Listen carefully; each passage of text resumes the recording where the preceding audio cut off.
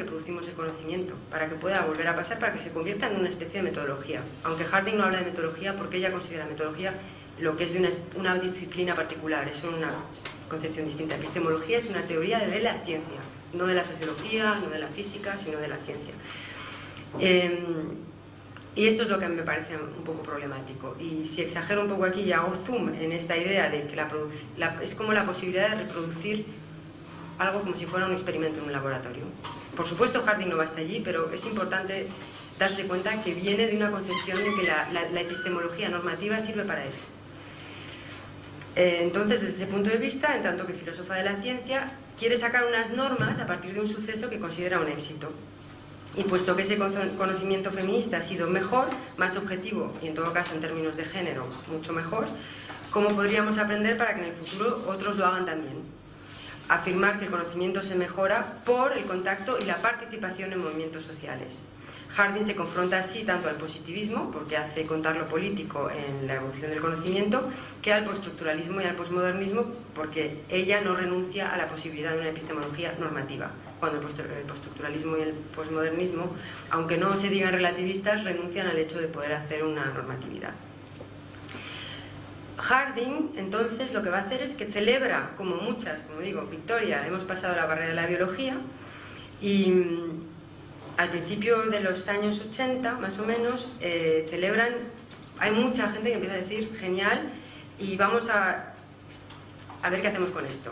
Y ella lo que hace es que va a utilizar teorías que aquí son un poco más de metodología, porque vienen, algunas vienen directamente de la sociología, en todo caso vienen de las ciencias sociales, para justificar y promover una epistemología feminista. Esas son las teorías que Harding, con las que Harding construye lo que Bárbara distinguió el otro día como conocimiento situado uno. Aquí no he... Solo lo he puesto así porque voy a ir diciéndolo y no, no es demasiado largo y creo que no es lo más importante creo que es recordar simplemente cosas que Bárbara dijo. El conocimiento situado uno es lo que en inglés llaman standpoint theory, que luego en castellano lo han traducido en el, texto, gracias, en el texto que, mm, que hay en la, la, web y que conocéis seguramente más de Haraway, aparte del manifiesto Cyborg, que es el de conocimientos situados, ella habla de standpoint, pero lo han traducido por posicionalidad o por posición. Porque standpoint quiere decir un poco eso. Standpoint es un sitio en que estás stand, point, y miras desde allí, o sea que tiene la, la, idea de punto de mira, visión, o sea, todo lo que explicaste de que el posicionamiento en tanto, se puede ver con la metáfora de la visión muy bien. Y un standpoint es eso, pero el standpoint es también una posición. Yo tengo un standpoint y este es mi standpoint. Es muy diferente decir tengo un standpoint que, tengo, que es mi punto de vista. Cuando uno dice standpoint en inglés es algo no negociable, tiene algo un poco no negociable.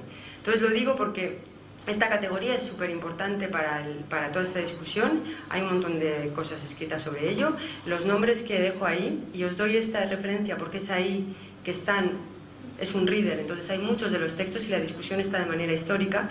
Esas cuatro personas son las primeras que empezaron a escribir de manera totalmente distinta y en momentos distintos y sin conocerse sobre esta idea.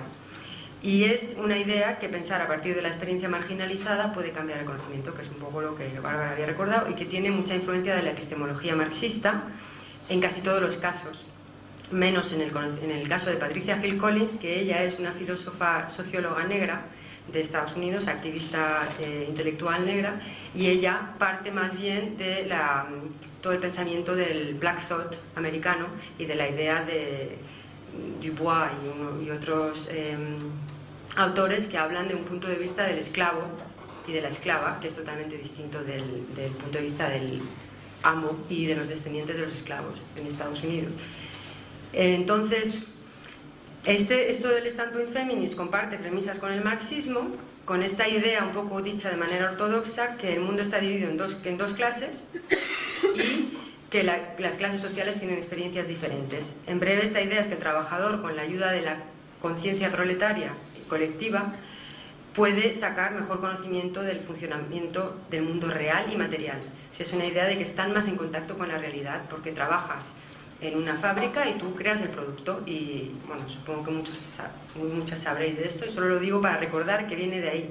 Standpoint es una, es una manera de traducir eh, Stundpunkt no sé qué en alemán, que viene de Lucas y viene directo de la ortodoxia marxista a través de Nancy Harstock, que ella era, vamos a coger el método marxista y lo vamos a aplicar. Y a mí me encanta Harstock, pero es muy difícil leerlo ahora porque es tan dogmático que te da un poco así, pero os aconsejo mucho leerla porque es súper radical y es genial, pero hay que dar un poco perspectiva histórica. O sea, esto yo no lo decimos, estas cosas, aunque hay mucha cosa que tiene razón. El caso es que mm, eh, lo que estoy diciendo transpose, transpone la experiencia del de trabajador proletario, y esto por supuesto es totalmente binario porque la trabajadora proletaria no cuenta en estas historias, pero ellas dicen, bueno, pues la experiencia de las mujeres en un mundo radicalmente dividido por el poder, el poder de la discriminación en dicotomías binarias de género, crea una experiencia diferente y entonces un conocimiento diferente. Y esto viene de la división de trabajo. O sea que esto no es, esto no es esencialismo, a no ser que se considere esencialismo cualquier cosa que uno afirme. Esto es materialismo histórico, así de claro. Luego, em, la idea de que un contacto aún más fuerte que el proletario o la proletaria, en el sentido, o, con del trabajo del, de, digamos, la fábrica, porque estos son los textos súper Em, más material lo, hacen las mujeres porque se supone que trabajan en la fábrica, pero luego vuelven a casa y siguen trabajando. Y además tienen contacto con cosas que en esta división del trabajo, pues eh, estos son finales de los 70, eh, lo digo para que no se olvide una, son, eh, hay textos, por ejemplo, Dorothy Smith, Hilary Rose hablan de pues limpiar los pañales, total, hay mogollón de maternidad, clarísimo, pero hay muchísimo también de trabajo doméstico, limpiar, el vómito y el trabajo afectivo, todas esas cosas que ahora están volviendo un poco con el pensamiento de los cuidados. A mí me parece fundamental recordar esto porque se olvida, cuando se hace una metodología de esto, se olvida a partir de qué experiencias estaban pensando. No son cualquier experiencias. Entonces, eh, aquí, solo para terminar con esta concepción, porque esto es lo que Harding va a coger para pensar cómo se puede pensar la ciencia diferente. Em, la ambigüedad fundamental de la epistemología feminista, que habéis discutido y que podemos discutir siglos, que salga de la experiencia de las mujeres que todas comparten, que quede claro, como he dicho antes, que esto es materialismo, lo que no quiere decir que no sea eh, etnocéntrico o antropológicamente, em, ¿cómo decir? Eh, porque uno puede decir perfectamente que no son las esencias que hacen a los hombres y las mujeres, que son la, la construcción social y llegamos a lo mismo, porque seguimos afirmando que hay dos géneros y nos olvidamos de raza, clase, clase y todo. O sea que la cuestión es que es, lo que quiero decir aquí es que ninguna de estas autoras, aunque fueran muy radicales en ese momento, dicen que esto es el posicionamiento feminista por excelencia. Esto es un proceso histórico. En este momento de la historia es importante poner la atención en ese tipo de cosas que, las mujeres, que más ven las mujeres que los hombres. Luego eso cambia y efectivamente con todos los debates con los feminismos minoritarios cambia un montón la perspectiva. ¿Bien? ¿Claro? Es que me da impresión ahora que estoy como en una moto. A ver. Em, también una cosa muy importante del standpoint feminism, la puesta en teoría de la, de la, la teorización de la construcción del conocimiento colectivo. Esto, este standpoint feminism, casi todas, excepto Dorothy Smith, pero Harding, cuando lo coge, ella hace una teoría en la que no es la experiencia de las mujeres cuando tú vas y le preguntas a una, oye, ¿cómo es tu vida? Sino es pensando en el proceso de, aquella, de los grupos de toma de conciencia y de concientización, pues las experiencias juntas hacen una idea de la clase de las mujeres, digamos. O sea que no es pues como la experiencia del trabajador no es la conciencia proletaria. Entonces esto es un proceso político. El standpoint es un achievement, ¿cómo se dice? Es un resultado. Es un resultado. Un logro, exacto, es un logro. Entonces esto es muy importante porque el standpoint no está dado. Y esto es una cosa que Haraway, a pesar de que en muchos casos se hace una distinción total, Haraway no se olvida de esto y para Haraway el standpoint existe. Simplemente ella complica todo esto y añade otras, otras capas, y eso lo veremos después. Eh, ¿Ya? Volviendo a la epistemología, mirar el mundo desde la perspectiva de la opresión y de la imaginación de la lucha para cambiar las cosas, porque esto no es solo sobre la opresión y las dificultades, es también de colectivamente imaginamos otras maneras de hacer y esa imagina, hay, hay conocimiento en la lucha, simplemente, y hay alegría y hay un montón de cosas, hay inteligencia colectiva en, en la lucha. Entonces, esta idea es que eso cambia la, mejora la objetividad porque primero se ven se completa la descripción de, situaciones sociales que están incompletas y solo se ven desde la posición del que paga el cheque. Y, se cambian las teorías, puesto que supongo, no sé si supongo que sabréis, pero esto, no es solo esta, esta, historia, no es solo de hacer reconocer el trabajo de las mujeres como trabajo, pero de transformar la concepción del trabajo. Entonces cambia la teoría del trabajo, cuando se empieza a pensar que el trabajo doméstico es trabajo. Entonces, este tipo es no solo cambiar, no es solo completar la descripción en la teoría que está ahí puesta, sino cambiar la teoría. Em, bueno, lo que, lo que quiero decir ahora, entonces esto lo dejo un poco así, entre paréntesis, para que si queréis explorar más, pues tengáis un poco referencias y lo que queráis, y también para para que esto se quede ahí, que esto, esto ha sido un ladrillo súper importante de la casa del conocimiento situado. Mm, Harding coge estos textos y los lee en paralelo a los problemas de las biólogas.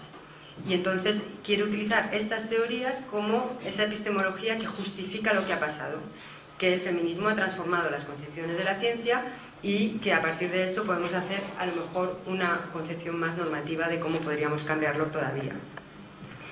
La propuesta epistemológica normativa de Harding es conocida como la objetividad reforzada, strong objectivity. Objetividad fuerte es una objetividad más fuerte. Entonces esto parte del cuestionamiento de la objetividad y del realismo, de la crítica que del dogma del conocimiento científico, de que el conocimiento científico es una representación realista del mundo en otras palabras, que nuestros conocimientos se presenten sin mediaciones entre nosotros, lo que pensamos y lo que el mundo es. Y entonces esto es la, idea de la, objetividad reforzada va a ir contra. Entonces está este objetivismo, el realismo, y va a afirmar em, la construcción social de la realidad que conocemos, incluida la naturaleza, como vamos a ver, lo natural. Este debate está, muy está situado históricamente también, se volvió enorme en los años 90 en el mundillo angloamericano, pero aquí también y en muchas partes, porque había un debate más, más amplio en filosofía política y todo eso sobre las consecuencias terribles del relativismo. Es la guerra de todos contra todos, volvemos a... Si y encima si la universidad abre la puerta a esto, pues ya la hemos fastidiado, porque en la universidad podíamos discutir tranquilamente de todo, y ahora si empezamos a meter la política, pues ya ese sitio tan civil y de discusiones tan, tan civilizadas, pues se acabó. Entonces esto en, Estados Unidos, como sabéis, fue súper radical, había un montón de gente fuera los estudios feministas, fuera la politización de la universidad, pero eso hemos, lo hemos oído aquí también y todavía se huele, o sea que es parte de un conflicto que afecta a la universidad. No sé si... Em, quiero, mejor antes de esto, y para no distraer, quiero leer una cita que creí que la había puesto ahí, pero no la he puesto, para un poco dar un poco el tono de este debate que, rodea a esta proposición de Harding y a toda la discusión feminista. Hay, en ese momento, eh, están naciendo, en los finales de los 80, nacen los Science Studies, que es un conjunto, es una especie de campo interdisciplinario en el que se juntan antropólogos, sociólogos y filósofos y un poco en general mucha gente para estudiar, son los estudiosos de la ciencia, pero la estudian a partir de ir a los laboratorios, seguir, y conocéis el trabajo de Bruno Latour, Steve Wolgar, la vida de laboratorio, hay un montón de eso, y es un campo que es muy grande, y las feministas hacen una contribución a eso enorme, pero que no está para nada reconocida. Pero en ese momento, el dogma general que sale el principio de los Science Studies es una frase de un libro fundamental que fundó mm, que funda un poco la disciplina que se llama Leviatán y la pompa, eh, la air pump, la, máquina para fabricar el vacío, la pompa de vacío, para fabricar el vacío experimental. Y entonces es una, un libro que habla del debate entre Hobbes y Boyle, Thomas Hobbes y, Boyle, en el que Hobbes precisamente dice que lo que Boyle está haciendo es abrir la puerta a la guerra de todos contra todos porque está creando una disciplina científica que es cuatro tíos en un laboratorio, ven una cosa que pasa y dicen esto es un fenómeno, lo vamos a reproducir, pero solo pueden entrar ciertas personas ahí y no es algo que cualquiera pueda hacer con su racionalidad universal como Hobbes quería poder decir. Y entonces Boyle crea, como otros en esta época, la ciencia experimental moderna que conocemos, que es la ciencia de laboratorio. Y para Boyle, para Hobbes, esto es un desastre porque privatiza la ciencia. En vez de la ciencia ser como la geometría, que cualquiera la podría hacer, que es la idea un poco general de la ciencia, pues Boyle eh, está fastidiándolo todo y haciendo un mundo de particularismos y tal. Ese debate entonces data de entonces. Bueno, en este libro, el libro concluye diciendo, habiendo llegado a reconocer el carácter convencional y artificial de nuestros conocimientos, no podemos hacer otra cosa que darnos cuenta que somos nosotros y no la realidad que estamos al origen de lo que sabemos. Ese es un poco el dogma de los Science Studies, constructivismo social puro y duro. Pero hay inquietud y muchísima de esta inquietud viene de las feministas. Por eso, cuando lees los textos de, los Science Studies feministas, hay mucha más resistencia y hay unas ideas mucho más sutiles de lo que puede ser un constructivismo. La inquietud, aquí lo dicen Linda Birke y Marsha Henry, hablando de la historia de la crítica feminista de la ciencia y la tecnología, si aceptamos que el conocimiento está construido socialmente, también debe ser así en cuanto a nuestra propia versión de la realidad. O sea, entre nosotros y otros tenemos perspectivas. Pero ¿qué le ocurre al mundo exterior? ¿Se convierte también en un relato o una narración entre otras? Esta historia del mundo exterior le preocupa un poco a todo el mundo, porque si todos son aquí, tú esta es mi perspectiva y esta es la tuya, ¿qué le pasa a la mesa? O sea, es un poco... Esa es la, tensión que hay. También es un problema político que recordó Bárbara cuando eh, Chandra Mohanty dice el este tipo de relativismo tuvo una influencia también en el hecho que los profesores no se podían afirmar antirracistas porque todo es relativo. Entonces, no, también de una consecuencia política el hecho de no poder afirmar esto es un hecho racista o esto es una frase racista, etc. O sea que hay toda una tensión que viene de la posibilidad de abandonar, no, el hecho de no querer abandonar la posibilidad de ofrecer descripciones de la realidad que, que sean alternativas y que puedan reemplazar descripciones que consideramos malas y que no debilite, que no mine la posibilidad que podemos afirmar que son mejores estos conocimientos que otros. Harding, ¿cómo se escapa de lo primero? ¿Cómo se escapa de esta tensión? Primero con una premisa filosófica. Lo que hace Harding es que extiende la noción de ciencia. Dice, pues las feministas son como Galileo. Entonces ella va a una, a una concepción de la ciencia que es bastante general y que es bastante compartida de la ciencia, una, una concepción bastante honorable que la ciencia tiene un carácter revolucionario y que a veces ocurre que gente sale y dice verdades que no se quieren escuchar. Y entonces la figura de Galileo aquí, que es una figura épica, Galileo contra la iglesia y tal, y esto a mí me encanta porque Harding tiene mogollón de sentido del humor y hace muchísimo esto con la, con la, la cultura y la épica de la ciencia, coge historias que son súper, ¿cómo decir?, eh, que están muy arraigadas y y las transforma como con una figura feminista. Y entonces, claro, te ríes, pero te ríes bien, y se ríe de la... Esto es muy serio lo que hace, pero lo hace riéndose un poco de la tradición de la que ella es parte también, porque ella se considera heredera de esta idea de la ciencia. Y eso también yo lo consideraría una parte de la metodología feminista, sentido del humor, en ese sentido. No reírse de, pero reírse con. Sobre todo cuando tú también eres heredera de una tradición de la que vas también viviendo. O sea que hay muchísimo... Pero haciendo esto, Harding toma un, riesgo, guarda una de las premisas dominantes del pensamiento moderno, y esto es muy diferente de Haraway, la idea de progreso, y que una idea reemplaza a la otra, y que las feministas tienen ahora una verdad que se tendría que aceptar como Galileo en un momento dado se aceptó que tenía razón. Y esto lo comentaremos más. O sea que esto extiende la noción de la ciencia, luego acepta una teoría de la ciencia que es constructivismo social radical.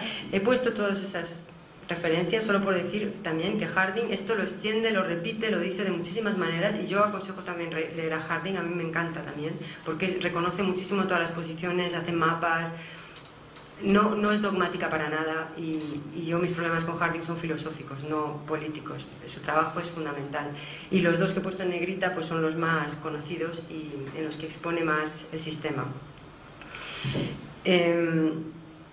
Ella incluye, o sea, entonces, extiende la noción de ciencia y adopta el constructivismo social como teoría de la ciencia.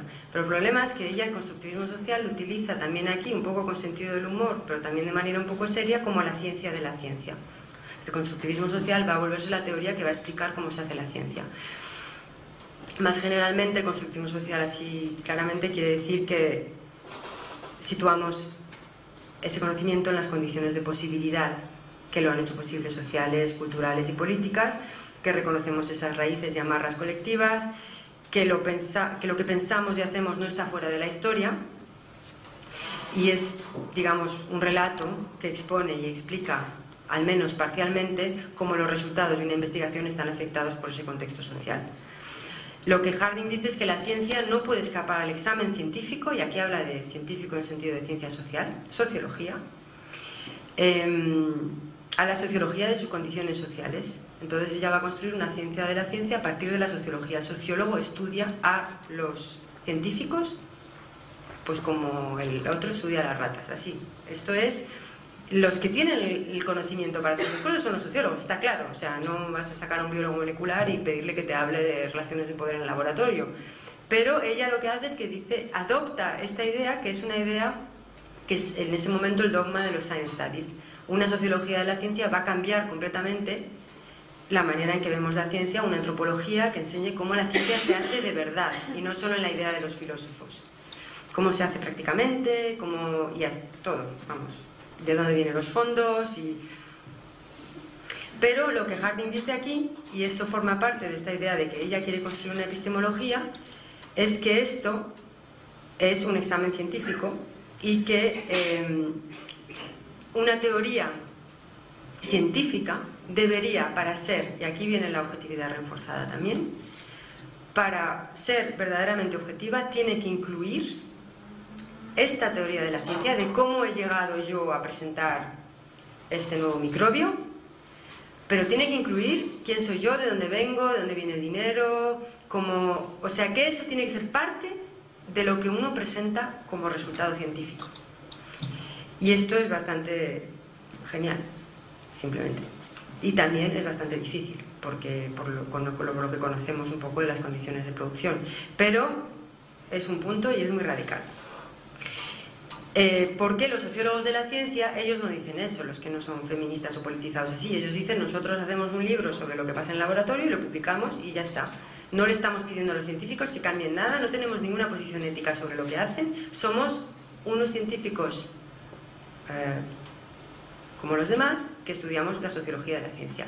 Una, y esta es una gran diferencia de las feministas que trabajan en Science Studies, es que ya dicen, no nos podemos parar ahí, tenemos un punto de vista ético y político sobre lo que estamos observando. Y, a ver, o sea que eso es un poco la idea del constructivismo social. Pero hay otra presuposición filosófica y que aquí, eh, y veremos luego la diferencia con Haraway, es que en cierto modo este constructivismo social es un subjetivismo, lo pone todo desde el punto de vista de la subjetividad, que sea no individual en este caso, porque es una subjetividad social, cuáles son las posiciones que ocupamos como científicos y, que, en cierto modo, todo lo que sabemos del mundo se explica por los sujetos sociales. Así Harding afirma, creo que esta lo he puesto, esta ya.